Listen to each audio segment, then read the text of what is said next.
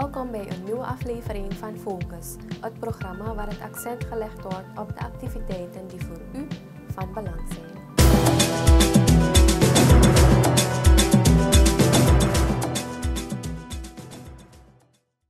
Vandaag in Focus.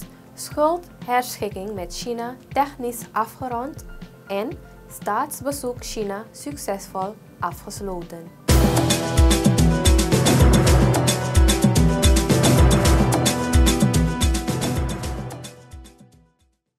Bibesminister Albert Ramdien heeft aangekondigd dat Suriname en China overeenstemming hebben bereikt over de schuldherschikking. De technische en politieke afronding heeft reeds plaatsgevonden. De bewindsman laat in een vraaggesprek ook doorschemeren dat de Chinese overheid oudere schulden voor de periode van 2013 heeft kwijtgescholden. U hoort minister Ramdien over de details.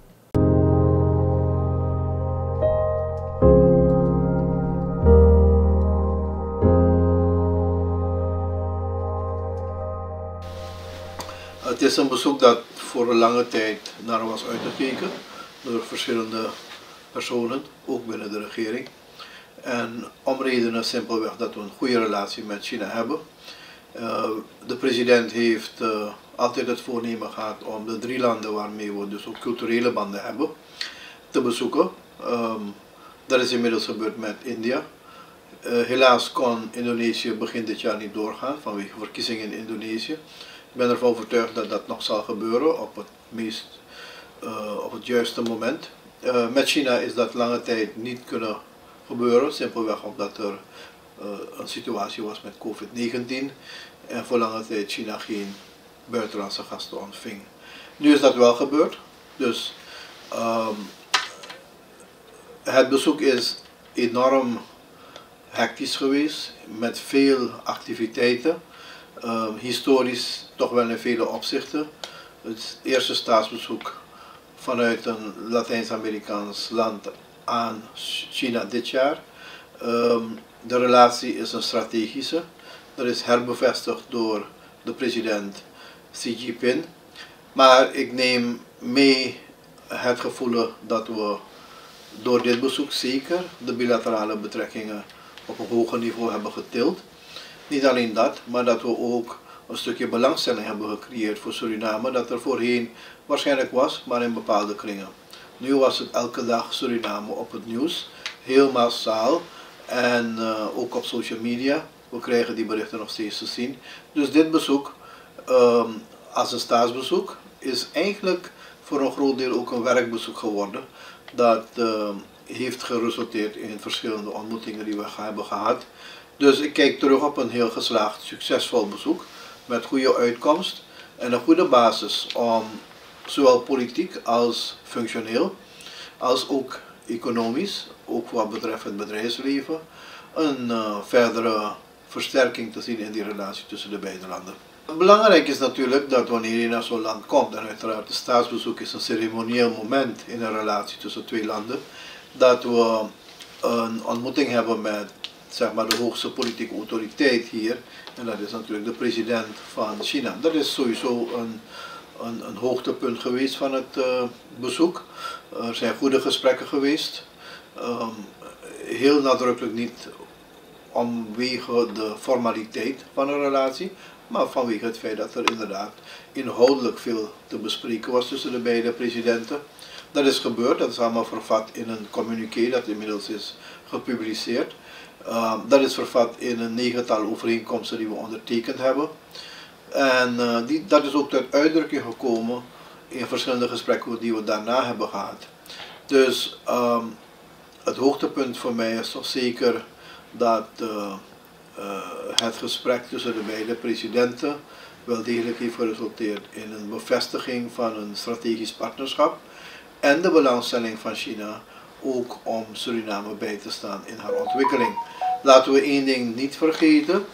Laten we één ding niet vergeten. Het gaat om twee landen met enorme diversiteit. Het gaat om twee landen die als ontwikkelingsland beschouwd moeten worden nog steeds.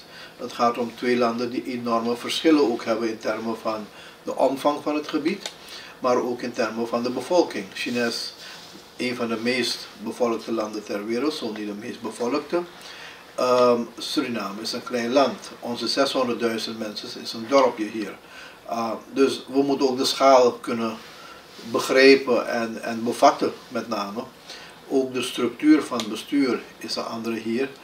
Ondanks die verschillen die er zijn, is er een goede, hartelijke, uh, ja, sincere, dus een oprechte relatie tussen de beide landen.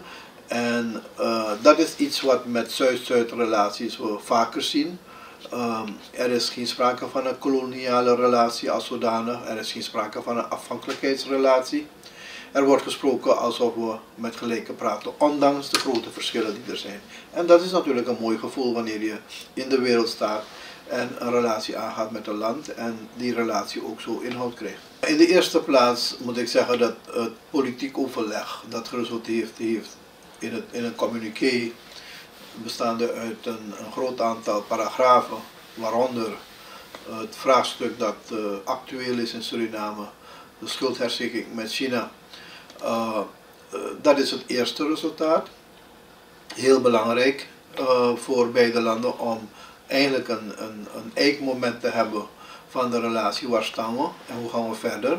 Dus er zijn lijnen uitgezet naar de toekomst toe. Dat is het eerste resultaat.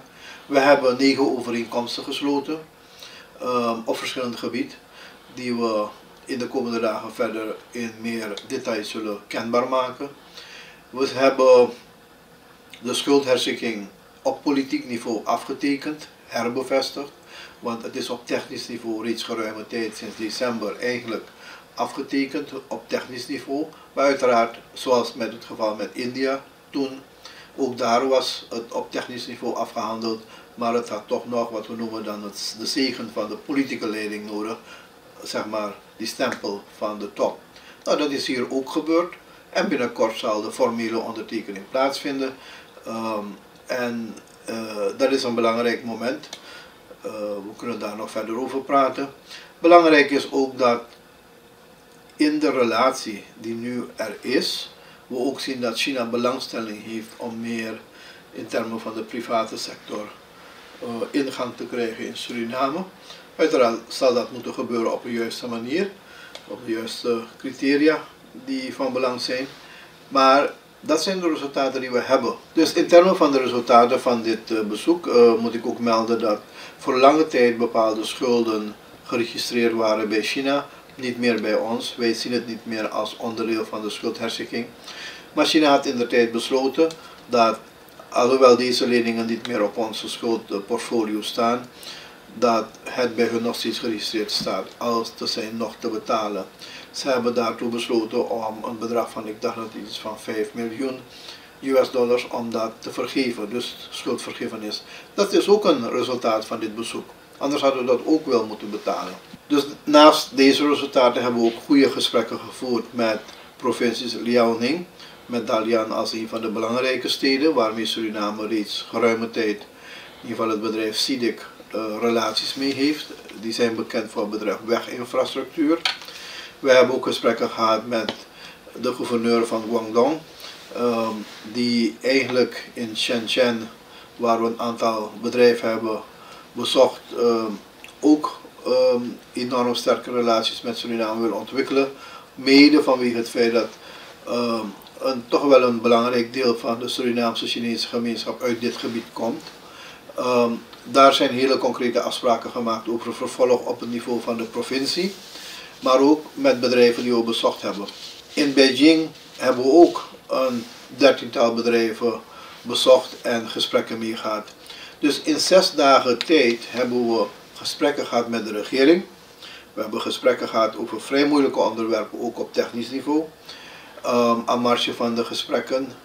Um, we hebben twee zeg maar, provincia provinciaalse uh, bestuurs, uh, bestuurlijke eenheden gesproken, de gouverneur en de burgemeesters van die gebieden.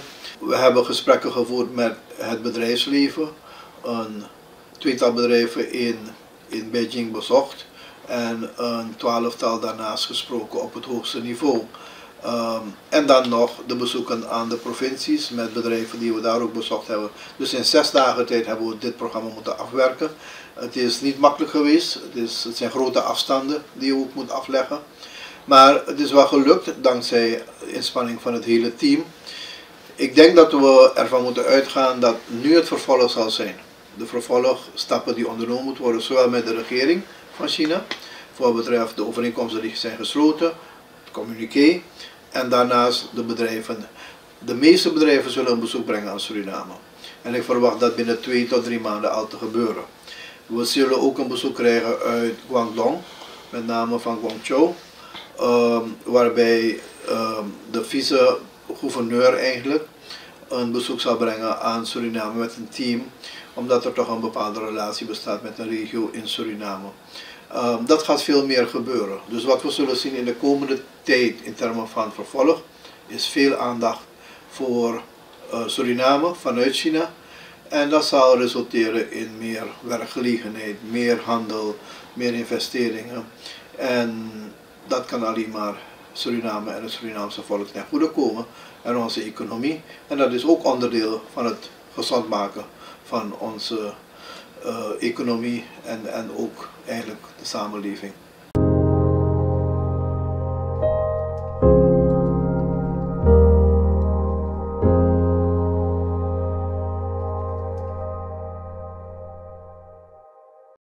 President Chandrika Prasad Santokhi heeft zijn succesvolle staatsbezoek aan China afgesloten.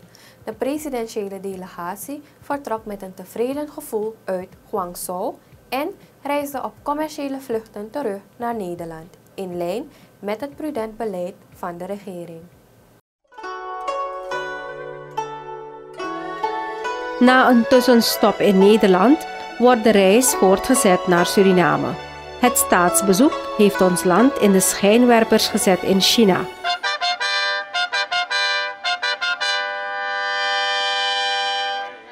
Welcome to China.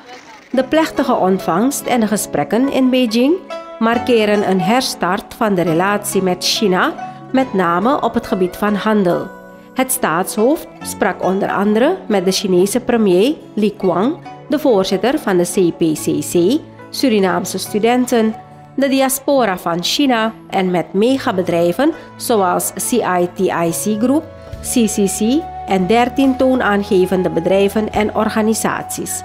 Volgens president Santoki is het belangrijk om naast technische samenwerking en expertise, uitwisseling ook te kijken naar het ontwikkelingsmodel en doorzettingsvermogen van het Chinese volk en de Communistische Partij van China. Het hoogtepunt in Beijing was de ontmoeting van president Santoki met het Chinese staatshoofd Xi Jinping. Met de bilaterale gesprekken tussen presidenten Santoki en Xi is de weg vrijgemaakt voor een krachtige herstart van vele projecten die lange tijd stil hebben gelegen.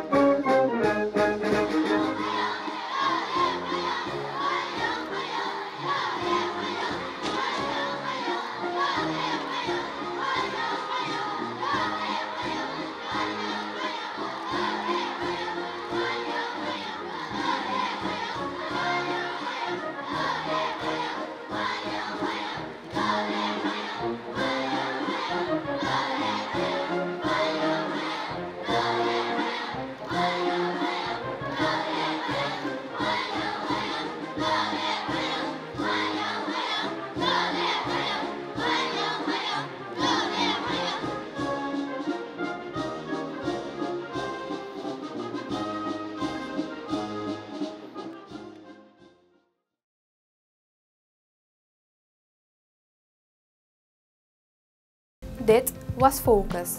Bedankt voor uw aandacht. Goedenavond.